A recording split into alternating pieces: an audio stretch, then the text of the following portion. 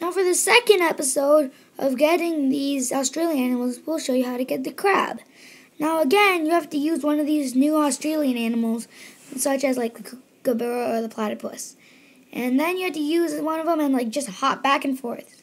Like back and forth, back and forth. Eh, I don't know why. Maybe like a crab? Like this. Then once you die, it'll give you this crab. Thanks for watching.